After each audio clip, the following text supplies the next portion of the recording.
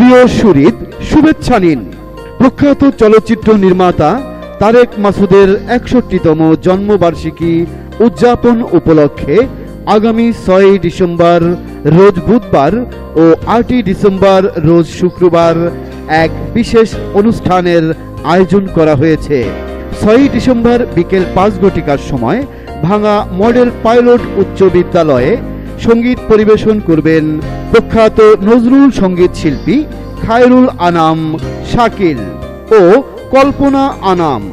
আটই ডিসেম্বর রোজ শুক্রবার বিকাল তিন ঘটিকা হতে তারেক মাসুদের জীবন ও চলচ্চিত্র বিষয়ক আলোচনা, তারেক মাসুদ সম্মাননা প্রদান, তারেক মাসুদ সংখ্যা প্রকাশ ও কবিতা উৎসব দুই হাজার সতেরো আয়োজন করা হয়েছে।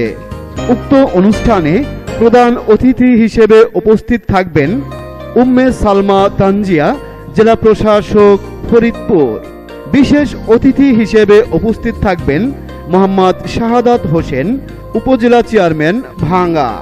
আরও উপস্থিত থাকবেন মোহাম্মদ কাজী ফয়সাল, উপজেলা নির্বাহী কর্মকর্তা ভাঙ্গা।